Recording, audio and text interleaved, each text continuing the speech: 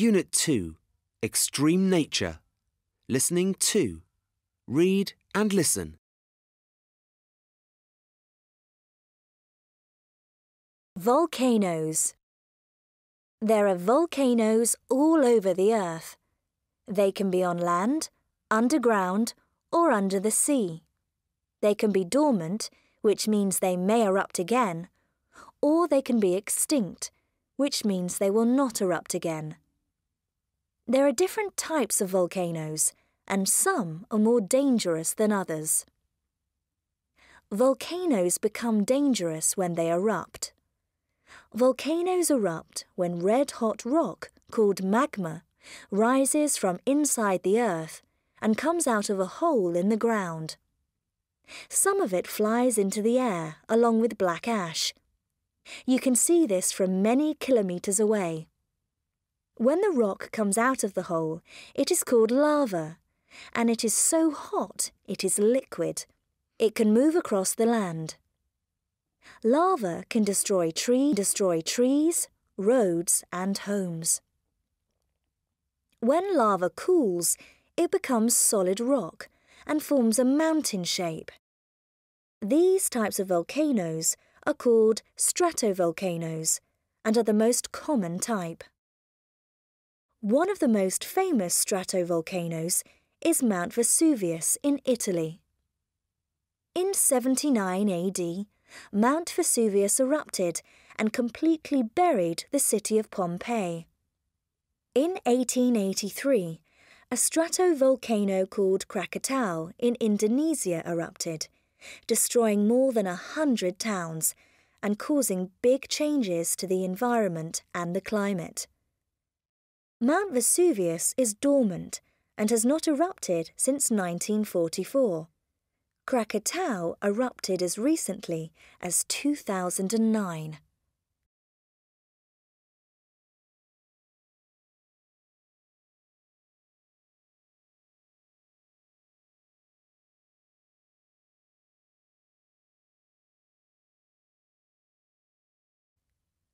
There are also volcanoes under the surface of the sea.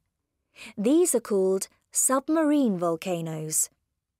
If a submarine volcano erupts many times, it grows until it reaches the surface of the sea. The top forms an island. In 1963, fishermen near Iceland were surprised when they saw ash and steam rising from the sea. It was a submarine volcano. It grew and formed an island called Surtsey. The Hawaiian Islands, in the middle of the Pacific Ocean, were also formed by submarine volcanoes millions of years ago.